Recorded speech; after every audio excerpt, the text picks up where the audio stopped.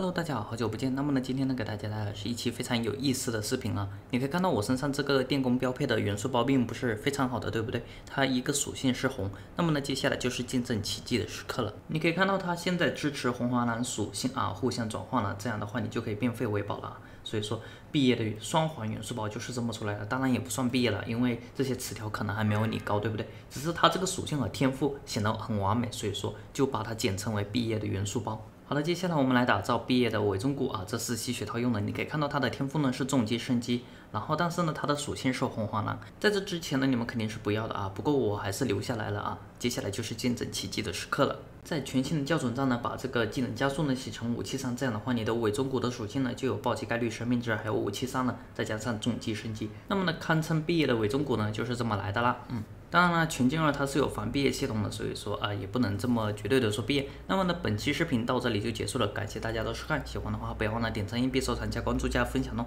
那么呢，咱们下期再见，拜拜。